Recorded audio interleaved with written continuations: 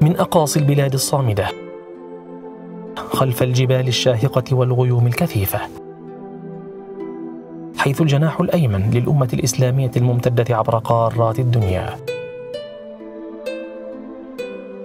من جزيرة الديمقراطية بمنطقة وسط آسيا بشكيك عاصمة قرغيزيا التي يقطنها 6 مليون نسمة يمثل المسلمون بينهم أكثر من 90%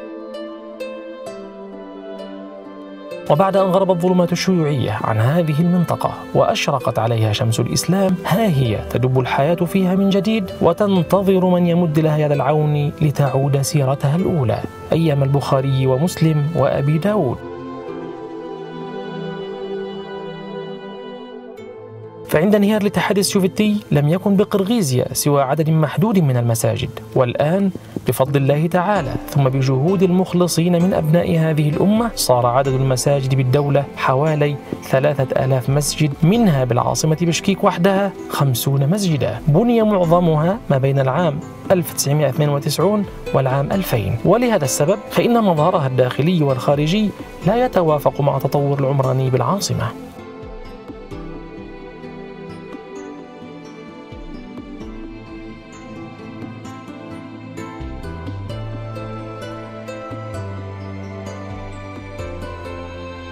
وصلاة الجمعة والعيدين مثال واضح على أن المساجد في بشكيك غير قادرة على استيعاب المصلين فكل المساجد مكتظة والطرقات مغلقة. ولأن للمساجد مكانة خاصة في الثقافة الإسلامية فهي شعار الدين وعنوان الإسلام. وشارة المؤمنين تؤدى فيها فرائض الله وينادى على منابرها بكلمة الله. هي ميدان تعارف المسلمين ومجالس صلحهم وحفل نكاحهم تنفيذا لوصية الرسول عليه الصلاة والسلام. لذا وجب أن تكون المساجد شامة في أماكنها فهي تعكس صورة الإسلام وعامل جذب للمسلمين وغيرهم.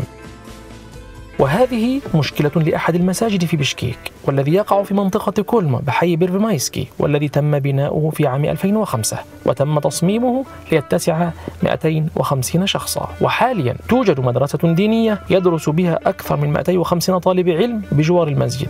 هم طاقة المسجد الاستيعابية كما أن حول المسجد ألفي منزل وبهذا يستوعب المسجد أقل من عشرة بالمئة فقط من سكان المنطقة. والعجيب أن أقرب مسجد يبعد أربعة ونصف كيلومتر.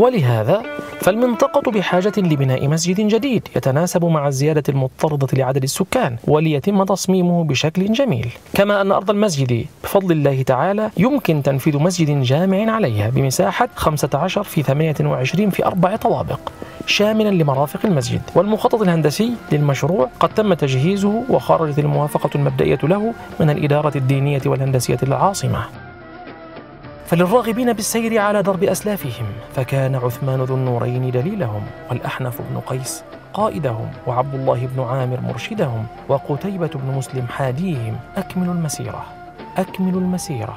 لتكونوا في صحبة من سبقكم في الجنة وليسعد بكم نبيكم على الحوض في زمرة الباذلين والمنفقين لرفعة دينه وعزة أمته.